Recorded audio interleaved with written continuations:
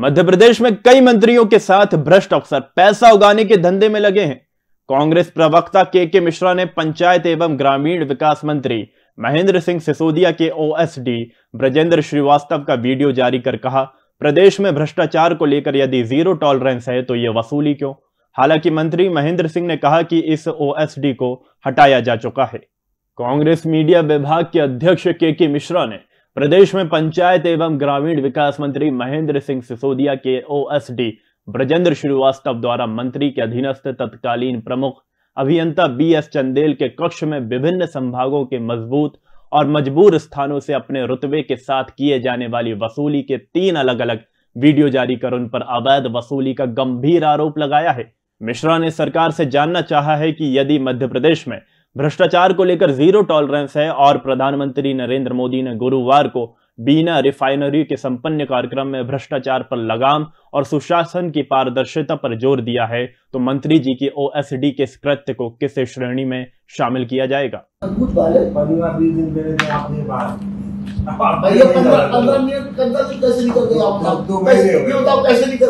बताओ आपने कहा था अपने स्तर आप कन्वे कर देना चाहिए सब कन्वे किया है। कन्वे किया है कन्वे करने के लिए यही हुआ था बता देंगे आजकल बात नहीं होती आपको एक मालूम था और अपन बात करना चाहते हैं। इन्होंने सब कन्वे कर दिया है। तो ये हुआ कि एक एक अभी जमा कर पाते और पंद्रह बीस दिन एक महीना बाद ये जो है। जो मज़बूत डिवीज़न छापना जिनको पड़ेगा ना मज़बूत डिवीज़न आपको मज़बूत डिवीज़न तो आप अरे हम तो देखने वाले हैं। हम तो देखने वाले हैं। हैं? अच्छा है? तो है के के मिश्रा ने कहा कि उक्त ओएसडी का कार्यकाल अत्यंत विवादास्पद रहा है। पूर्व में प्रदेश भर की सभी पंचायतों से इनके खिलाफ 20 प्रतिशत अवैध वसूली एकत्र करने के गंभीर आरोपों की शिकायत मुख्यमंत्री शिवराज सिंह चौहान के समक्ष की गई थी। इसके बाद मुख्यमंत्री ने ब्रजेंद्र श्रीवास्तव को मंत्री के ओएसडी पद से हटाने का निर्देश दिया था। इसके बावजूद वे आज भी अपरोक्ष रूप से मंत्री के वसूली अधिकारी के रूप में कार्य कर रहे हैं। लाजमी है कि उन्हें किसका संरक्षण प्राप्त है सार्वजनिक होना चाहिए। कब तक हो? एक एक है एक तो अठारह तक करवा दो बाकी बताओ बताओ भाई। मजबूती वाला अपन छाप देंगे। हाँ नहीं वो फिर अठारह पे अच्छा उसके बाद। बताओ अतुल हाँ। देखो मजबूती में बता दूँ आपको इंदौर संभाग में सिर्फ़ इंदौर को छोड़ दो। मैं आपको बता नहीं इंदौर क्यों छोड़े? बुरहानपुर को भी छोड़ना बड़वानी भी छोड़ना। बड़वानी बुरहानपुर? बुरहानपुर बुरहानपुर इंदौर जो कमज़ोर है। इसके बाद उज्जैन की थोड़ी स्थिति खराब है। उज्जैन तीन चार जगह छोड़ना मिश्रा ने यह भी आरोप लगाया कि अब तो इनके द्वारा बेलगाम होकर 50 प्रतिशत कमीशन खोरी की जा रही है।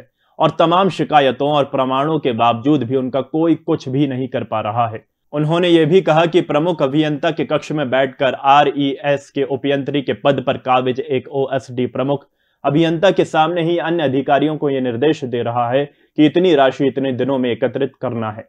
और ये राशि इतनी बड़ी भी नहीं है जिसे मालगाड़ी में रखना पड़े।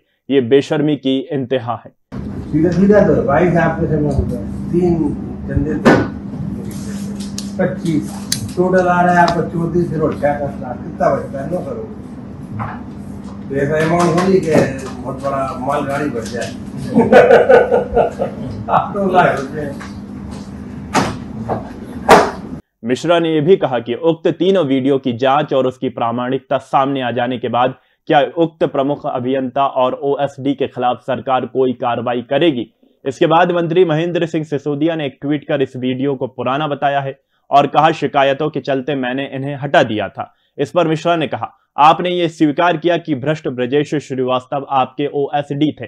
किंतु आप ये बताना भूल गए कि ये उगाही वे किसके नाम पर कर रहे थे? किसके संरक्षण और किस पवित्र उद्देश्य के लिए कर रहे थे? Rabindranath Tagore University Bhopal, only private university in MP to be NIRF ranked for five consecutive years. जहाँ है 600 से ज़्यादा company tie-ups for placements, Atal Incubation Center for nurturing startups, Industry Academia collaboration for exposure of real industry world, 20 centers of excellence for research, साथ ही global festival विश्व रंग में शामिल होने का अवसर देता है Rabindranath Tagore university unlocking potential